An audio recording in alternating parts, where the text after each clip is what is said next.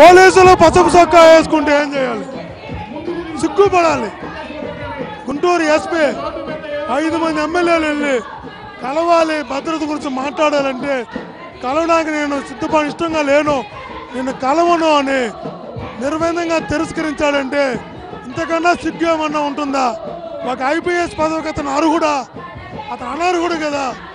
వాళ్ళు అనుకుంటున్నారేమో ఏ రోజైనా కూలిపోయే ప్రభుత్వం చంద్రబాబు ప్రభుత్వం.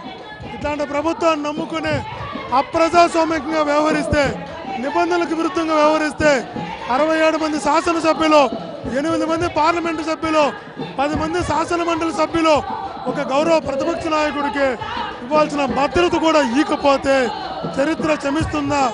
ప్రజలు క్షమిస్తారా? ఇది ప్రజాస్వామ్యమా? వాళ్ళు ఈకపోతే వైఎస్ఆర్సీపీ కార్యకర్తలే పోలీసులు అవుతారు సైనికులు అవుతారు. మా మా మేమే ప్రజల్ని చేసు క్రమశిక్షణగా మీటింగ్ జరుపుకుంటాం. కానీ గుర్తుంచుకుంటాం ఇట్లా దుర్మార్గంగా అప్రజాస్వామ్యంగా వివరించిన ప్రతి పోలీస్ అధికారి ఖచ్చితంగా శిక్షకు అర్హుడు అవుతాడు.